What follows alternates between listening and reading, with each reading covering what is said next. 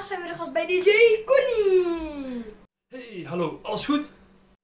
Hey, wie is eigenlijk DJ Connie?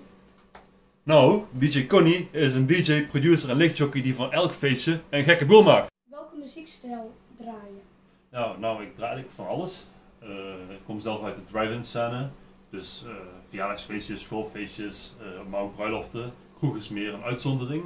Maar voor Beat DJ ga ik specifiek eh, richting de house, electro house, eh, misschien ook een beetje trap en ja, vooral heel veel a cappella's eroverheen. Eh, waarom moeten mensen eigenlijk naar jou komen kijken?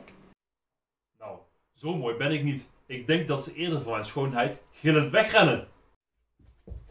Ha, grapje. Ik ga vrijdag heel die tent op zijn kop zetten. Waarin onderscheid jij je van anderen? Er is maar één DJ Connie en deze belevenis die krijg je niet op Spotify. DJ Connie, bedankt voor het interview. Graag gedaan. En natuurlijk hopen wij jullie te zien tijdens de Beat DJ finale op vrijdag 2 december in gebouw T samen met Jody Banal.